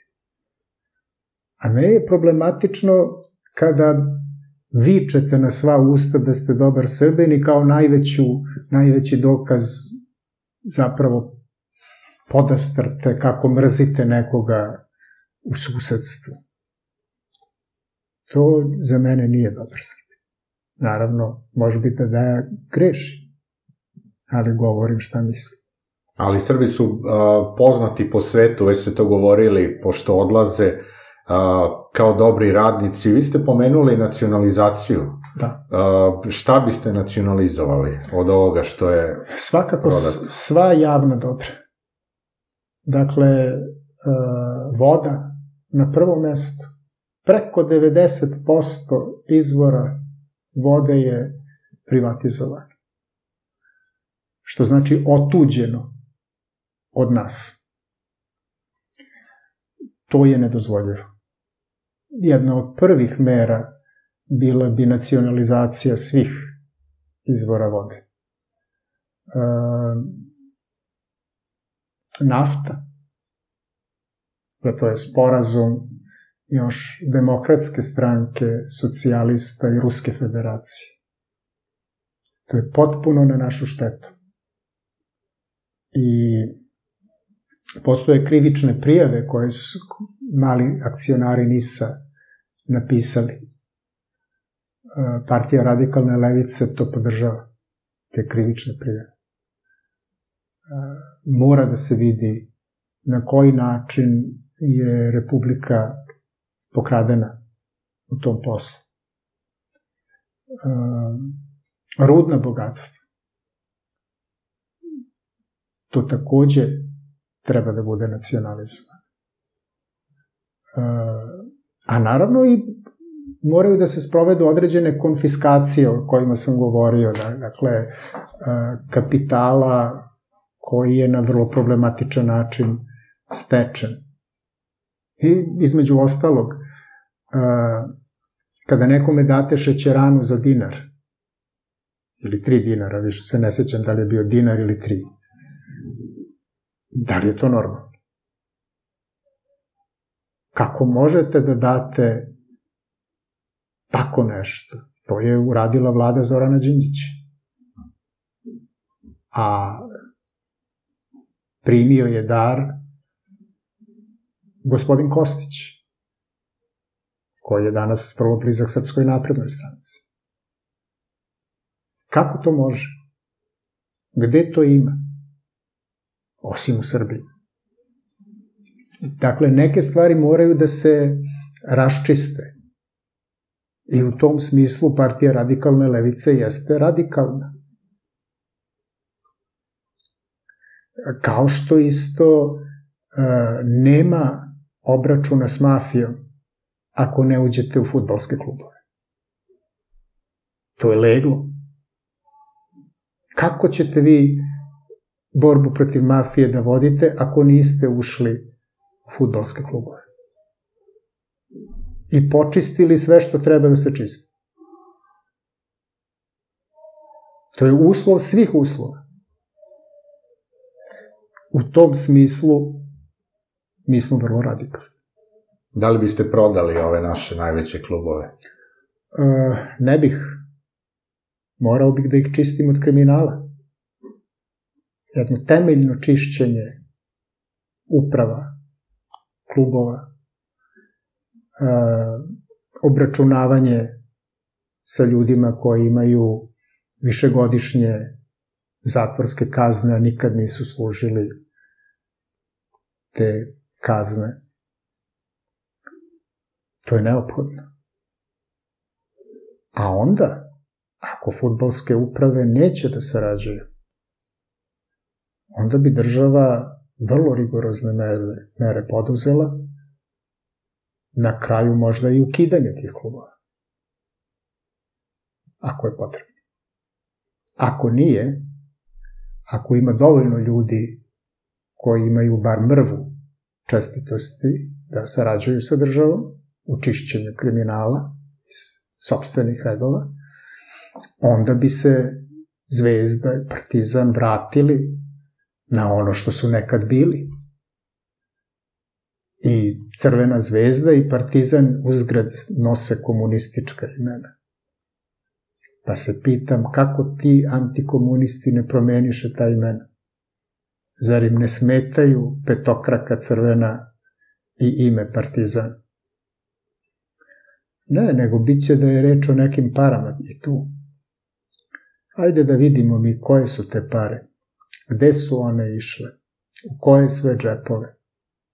Koliko je ko, što bi se reklo pod navodnicima, dobar? I da vidimo zbog čega je dobar.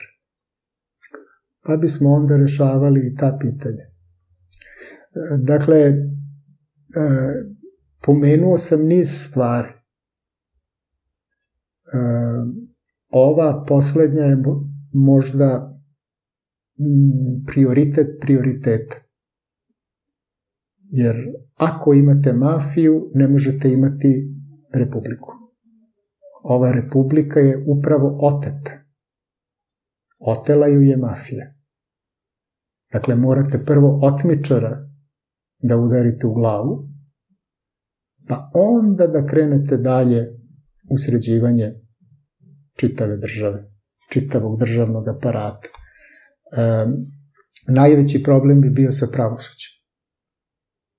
najveći problem, ali bismo konsultovali one pravnike koji su se pokazali kao čestiti profesionalci, uopšte ne moraju da budu članovi partije radikalne levice. Čak nije ni požar.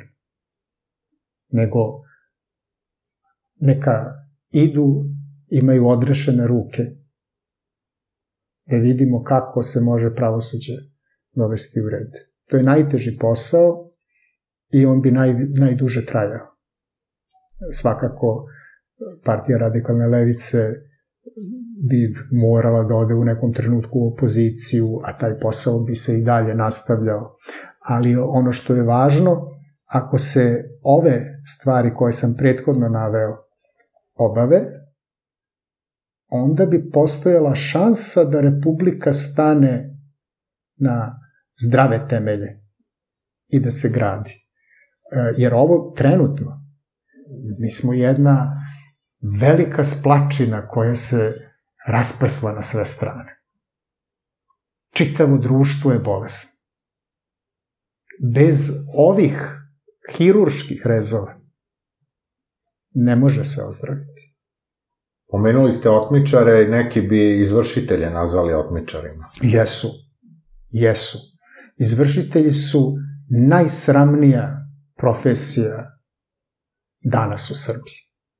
Ja ne bih da sam izvršitelj, ba da to nezamislivo, ali ne bih mogao sebi, sebe da pogledam u ogledalo. To šta neki od njih rade, ne kažem možda i tu ima nekih normalnih ljudi, ali ono što sam ja imao prilike da vidim, to je užas, užas. I, I zato sam veoma ponosan na ljude iz krova nad glavom. Tu ima članova stranke, ali nisu samo članovi partije radikalne levica, tu ima i pripadnika drugih organizacija i pojedinaca koji su se priključili.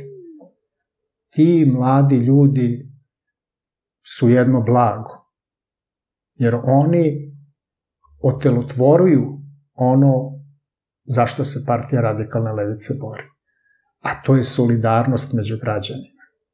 Da dođe nekakav izvršitelj i hoće da uzme jedinu kuću. Bilo je slučajeva starica od 90 godina. I on joj čak, čak, čak ne želi da je pusti da umre, nego joj zagorčava, ubija je, zagorčavaju i poslednje dane života i otimaju jedini krov nad glavom. Pa ljudi, gde to ima? Evo, gde to ima? Postoje izvršitelji i u drugim zemljama. Sama profesija je veoma problematična. Ja bih se borio za njenu ukidanje. U Ustavu bi moralo da piše da je krov nad glavom, ako je jedan jedini, neotuđiv ne može se uzimati. Pa oko dugova, hajde da se vidi na koji način da se to rešava. Ali ovde je bilo, ta, ta baka je imala dug od, ja mislim, 20.000 dinara. I zbog duga od 20.000 dinara došao je izvršitelj da joj uzme kuću. Evo neka naši gledalci procene da li tu ima mrva čovečnosti. Ili je to kriminal nad kriminalima. To partija radikalne levice, ako bude u prilici da služi narodu, svakako će ukinuti tu instituciju izvršitelja. A da li će žene raditi? Kao što je bilo za vreme socijalizma, da su uglavnom radili ajde da kažemo muževi, a žene su bile kod kuće i tako dalje, moglo je da se živi nije, od jedne nije. plate, mada, mada je počela već tada i... Počelo je, da. zapravo je socijalizam doveo do, uh, do rasta zaposlenosti žene. Uh, I svakako, kogod želi da radi bez obzira na rod, neka radi. Sva prava, sva prava. U socijalizmu su ljudi bili jednako plaćeni za isti posao. Danas su muškarci plaćeni od žena za isti posao. To je vrlo sramotna praksa. Ali tu Srbija nije izuzetak. Tu je širom sveta tako. Ali to što je širom sveta tako ne znači da je ispravno. Dakle, to je sasvim naopaka praksa žene su u mnogim stvarima u proseku bolje, u nekima nisu, ali u mnogima jesu i treba ih pustiti da rade i treba da zarađuju isto koliko i muškarci na, za isti posao. To je ono što, što je jako važno i naravno sad vidimo vrlo negativne trendove i u Poljskoj, faktički e, je abortus stavljen van zakona, krajnje je redukovano e, šta, šta sve može da omogući abortus. E, nadam se da u Srbiji takvih stvari nikada neće biti. Do sad nije bilo, to je jedna od dobrih stvari naše kulture je ta što crkva, bez obzira na izuzetno jak uticaj, nikad nije imala toliki uticaj kao katolička crkva u Poljskoj ili katolička crkva u Hrvatskoj, gde je to ograničavanje prava na abortus posebno problematično. Posebno problematično, jer vi nikada sigurno ženi nije drago da abortira. To je poslednja mera kojoj ona pristupa. I muškarci moraju to da, da razumeju. A nikako ne da teraju žene, recimo iz nacionalističkih razloga, umrećemo kao nacija, pa hajde da zabranimo abortus. Ne, bori se na drugi način. Ako treba obezbedi porodiljsko odsustvo koje će da traje duplo duže. Obezbedi da na kraju krajeva bar kao u Češkoj što je. U Češkoj porodiljsko odsustvo može da bude četiri godine, gde međutim prve godine je 100% plate, druge godine ne znam 85, pa treće se smanji na 75, četvrte 65, ali to je već, to, to je već jedna razumna mera. Na taj način se može raditi na uh, poboljšanju prirodnog priraštaja. Ali džabe vam i to ako vam je u društvu pakao iz koga ljudi beže. Džabe možete vi povećati natalitet ako svi opet pobegnu šta ćete? Znači morate prvo stvoriti uslove uh, za normalan čovečan život u Srbiji. A to između ostalog znači da ne sme radnik da gine. Dakle, to može da bude neki splet nesrećnih okolnosti, incident, ali ne sme da bude pravilo kao što je u Srbiji da se na gradilištima gine. To nije normalno, to je skandalozno. A pravosuđe, da li biste, pošto u mnogim socijalističkim zemljama postoje doživotne robije i smrtne kazne, kako biste to regulisali? Ja nisam za smrtnu kaznu, ali za one silovatelje e, za koje je jasno da će ponoviti delo. Ja sam za doživotnu robiju. Dakle, to je sad pitanje da li može da bude pravo na, na otpust posle recimo 20 godina ili ne, ali recidivisti istraživanja pokazuju to su bolesni ljudi koji, koji ne mogu seksualno da se uzbude osim ako ne siluju. I tu e, bojim se da je jedino doživotna robija e, lek? Pa tamo ima dovoljno kukuruza koji nije obran, postoji koristan rad koji se u zatvoru može obavljati. Nema, jednostavno e, čovečnost mora da postoji i prema kriminalcima, ali pos, kažem, u tom slučaju bojim se da ili ovi višekratne ubice, on ubije, vi ga zbog dobrog vladanja pustite posle 15 godina, on ubije ponovo. Jednostavno tu, e, tu se mora naći neka ravnoteža, ali to je sad moj stav kao sociologa i kao građanina, a mislim da time prvenstveno treba da se bave pravnici, uz učešće psihijatara, psihologa, sociologa i da se dođe do, do pravih rešenja. Pomenuli ste izbore, evo da vas pitam da li ćete izaći na te izbore koji su najavljeni za 2022.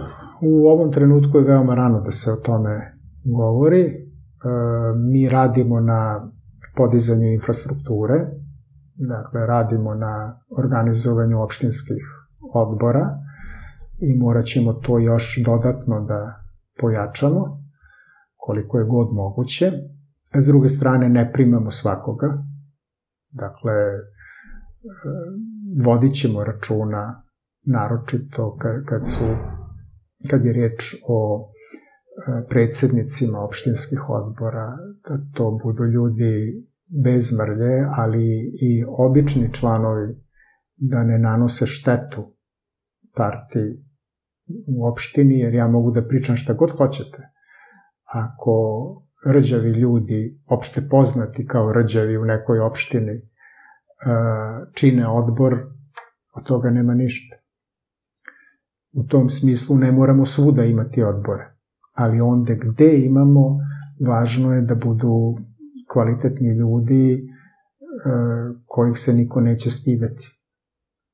I za kraj bih teo, profesora, da vas pitam, a, pošto je bila jedna inicijativa, čini mi se prošle godine, koji su potpisali a, mnogi poznati, vi ste isto to potpisali, a, sad, izvinite, ne mogu da setim o čemu je reč, ali da li očekujete da će vam se pridružiti a, Duško Vujošević, Rambo Amadeus, Marcello, Božo Koprivica, ljudi koji, koji su, ajde da kažemo, na sličnim talasnim dužinama? Voleo bih voleo bih, e,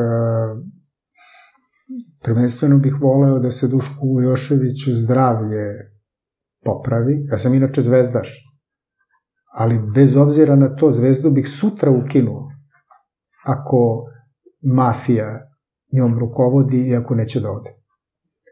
A Duška Vujoševića cenim kao izuzetno pametnog i čestitog čoveka, sjajnog trenera, Dakle, njemu su vrata širom otvorene. E,